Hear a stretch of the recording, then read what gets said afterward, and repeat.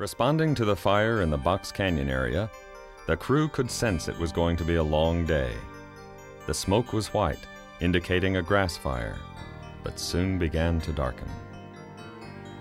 The fire had burned into heavy fuels and was now threatening a half dozen houses when the first engines arrived.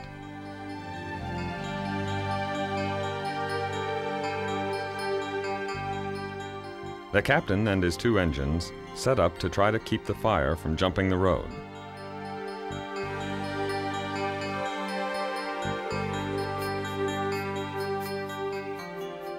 Calling for more engines and a tractor, the men had their hands full just holding their position and could do nothing but watch as the fire roared up the mountain.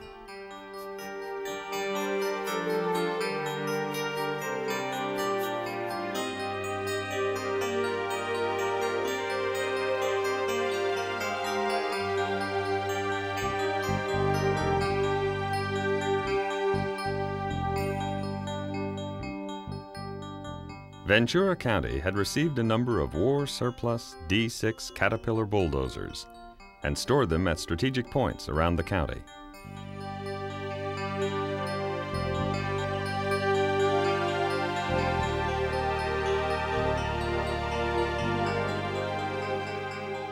In 1950, many of the Ventura County volunteer firemen were farmers, skilled in the operation of heavy equipment.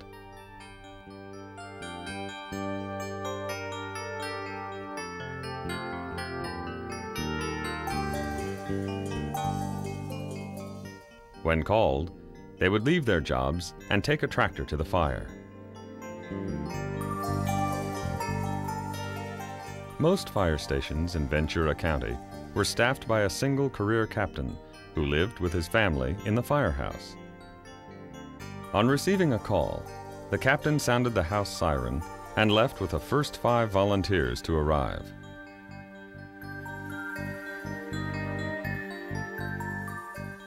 The primary task of a tractor is to remove vegetation and create a fire break.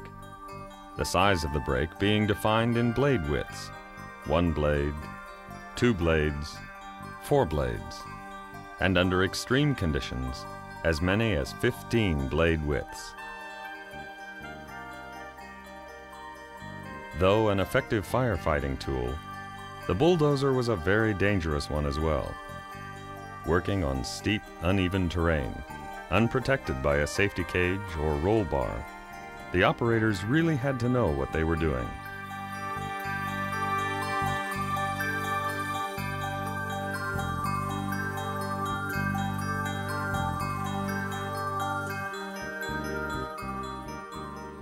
Although bordered on the south by the city of Los Angeles, Ventura County was an area of rural beauty with small towns intermixed with prosperous farms, and lots of California mule deer that are forced to flee as the fire advances.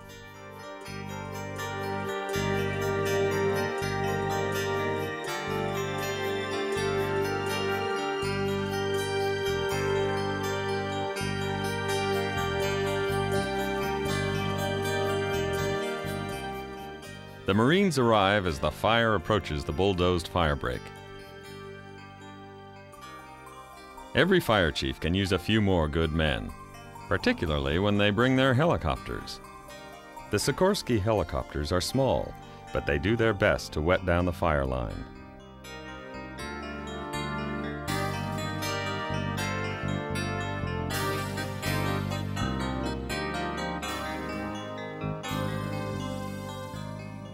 The use of helicopters for fighting fires was still very experimental and there was a lot to learn.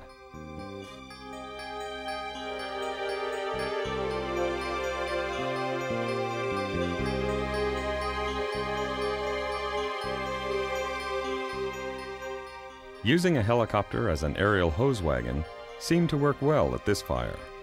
But the pilots voiced concern over the loss of control if the hose snagged, and the practice was seldom used.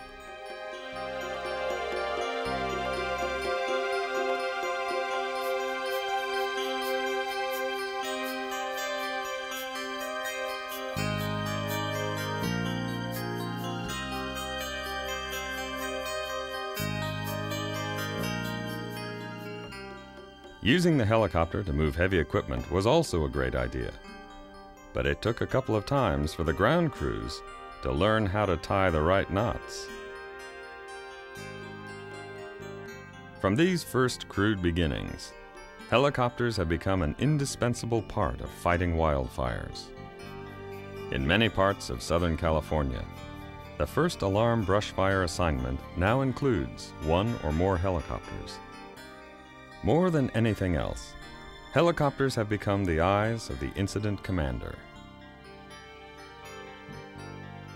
Following the winding path of the makeshift waterway created from irrigation piping and portable tanks, the IC is able to view the progress that has been made and the efforts of his men as they advance hose to extinguish the remaining pockets of fire.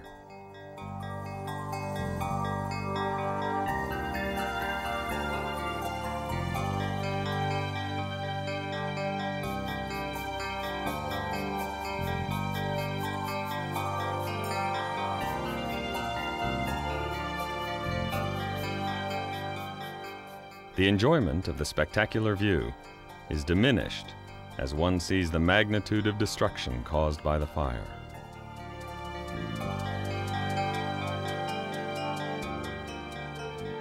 The green edge, where the firefighters made their stand, is a stark contrast to the barren, burned over slopes.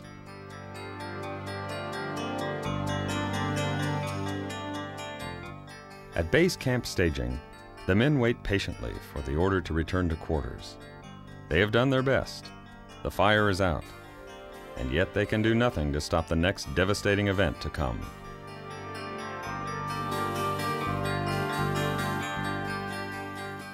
Sooner or later, the rains will start. Cascading wildly down the denuded slope, the rainwater strips the unprotected earth from the hillside. The rivulets grow larger and larger as they roar down the valleys, draining into the Santa Clara River and onto the sea. With vegetation on the hillsides, the runoff is slowed and the river can handle the flow. Too often, the fires have so destroyed the grass and brush that the river cannot handle the water and overflows its banks.